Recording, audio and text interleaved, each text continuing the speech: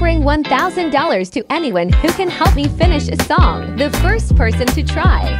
Today is gonna be the day that I'm gonna throw it back to you. I think that's someone else's song, bro. that's okay. Thanks. Then this girl wanted to have a go too. I was not expecting her to have this voice. I stopped reading Miss calls, message on my phone, yeah, sorry I missed yours. Cause I